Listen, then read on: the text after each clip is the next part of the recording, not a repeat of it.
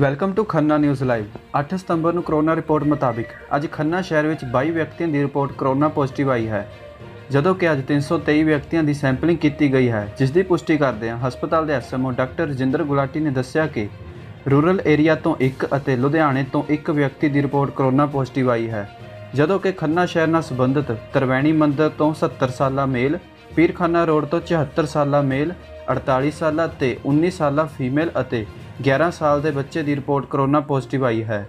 ਰਤਨਹੇੜੀ ਤੋਂ 55 ਸਾਲਾ, ਲਲਹੇੜੀ ਰੋਡ ਤੋਂ 37 ਸਾਲਾ ਮੇਲ, ਧਰਮਪੁਰਾ ਮਹੱਲੇ ਤੋਂ 47 ਸਾਲਾ, ਬਿਲਾਂਵਾਲੀ ਛੱਪੜੀ ਤੋਂ 42 ਸਾਲਾ ਅਤੇ 53 ਸਾਲਾ ਮੇਲ ਦੀ ਰਿਪੋਰਟ ਕਰੋਨਾ ਪੋਜ਼ਿਟਿਵ ਆਈ ਹੈ। ਨੰਦ ਐਵੀਨਿਊ ਤੋਂ 36 ਸਾਲਾ ਮੇਲ, ਰੂਪਨਗਰ ਤੋਂ 60 ਸਾਲਾ 29 ਸਾਲਾ 31 ਸਾਲਾ ਫੀਮੇਲ ਅਤੇ 13 ਸਾਲ ਦੇ ਲੜਕੇ ਦੀ ਰਿਪੋਰਟ ਕਰੋਨਾ ਪੋਜ਼ਿਟਿਵ ਆਈ ਹੈ। ਰਾਮਨਗਰ ਤੋਂ 28 ਸਾਲਾ ਤੇ 59 ਸਾਲਾ ਮੇਲ ਕ੍ਰਿਸ਼ਨਾ ਨਗਰ ਤੋਂ 65 ਸਾਲਾ ਬੈਂਕ ਕਲੋਨੀ ਤੋਂ 78 ਸਾਲਾ ਫੀਮੇਲ, ਗੁਰੂ ਹਰਕ੍ਰਿਸ਼ਨ ਨਗਰ ਤੋਂ 65 ਸਾਲਾ ਮੇਲ ਦੀ ਰਿਪੋਰਟ ਕਰੋਨਾ ਪੋਜ਼ਿਟਿਵ ਆਈ ਹੈ।